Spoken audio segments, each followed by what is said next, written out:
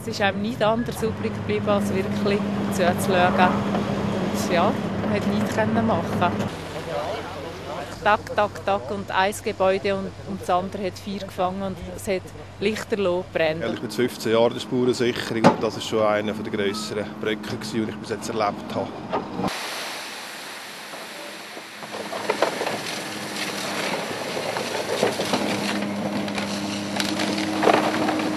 Wir sind am gleichen Abend, wo wir heim sind, kontaktiert worden telefonisch von der Mobiliar.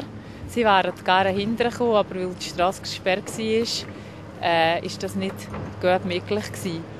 Und ich muss sagen, das hat sehr viel äh, Zuversicht gegeben. Sie haben uns auch sofort gesagt, wir, wir helfen dich, wir sind da, wir unterstützen dich.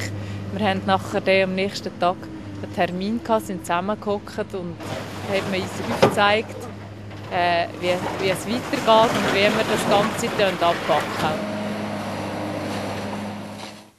Es geht uns darum, dass Hergers sofort den Betrieb wieder aufnehmen Wir suchen mit ihnen zusammen provisorische Räumlichkeiten, wo sie sofort wieder können produzieren können.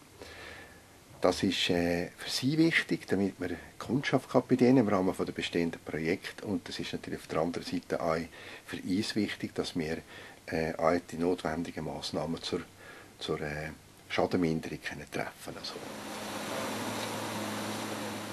Ja, im Moment geht einem natürlich schon allerlei durch den Kopf. Oder? Es ist generationenweise aufgebaut worden.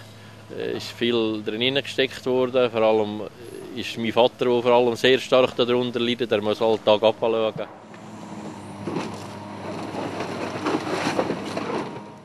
Wir haben äh, sechs Gebäude, die auf dem Platz waren, die betroffen sind.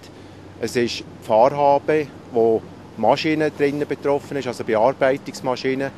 Und es sind sechs oder sieben Fahrzeuge, das weiß ich noch nicht einmal genau, wie manches Fahrzeug das ist. Und die werden dann von einem Autoexperten abgeschätzt und ausgezahlt.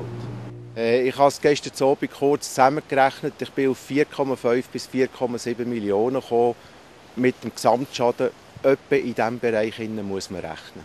Also ich habe nicht eine Sekunde daran gedacht, dass es Tier wird. Mein, mein Gedanke war einfach, das ist eine riesige Katastrophe für einen Unternehmer. Zum Glück steht eine Versicherung im Hintergrund, oder?